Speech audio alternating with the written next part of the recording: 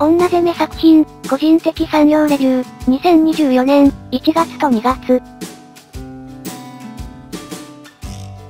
いつからダク側だと思ってたの？可愛い彼をめちゃくちゃにしたい、女攻めアンソロジー、初の形勢逆転なし女攻め TL アンソロ。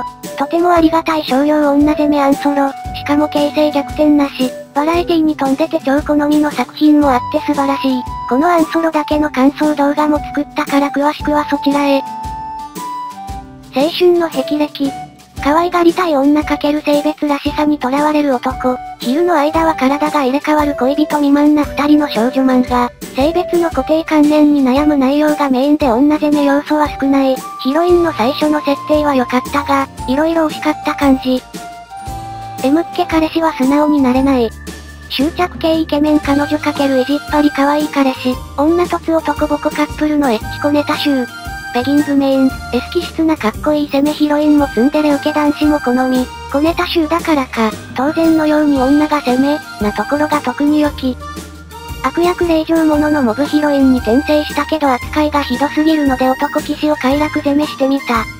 恋する肉食系モブヒロインかけると真面目な男騎士。何の落ち度もない男騎士が色々ひどい目に遭うエロコメ。男は少しリードしようとするが結局攻められるので一安心。やはり真面目系の受けは好み。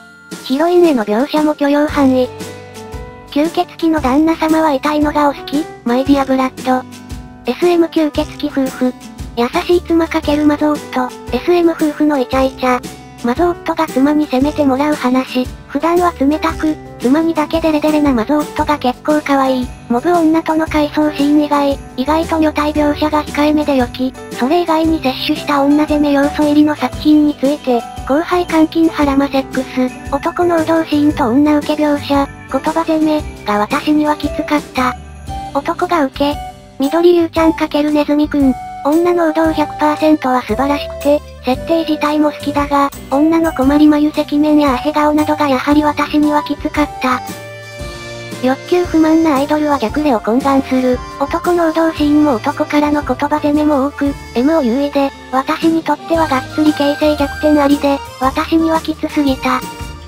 ネクタイ拘束から始める、ワンオンワンコーチング。1回目の強引に攻めたシーンだけは女攻めですごく良かったが、その後はがっつり形成逆転、男攻めありで、私にはきつすぎた。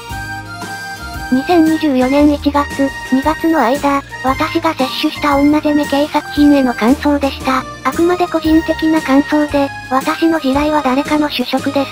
私にはきつくても多くの人にとっては萌えのはずです。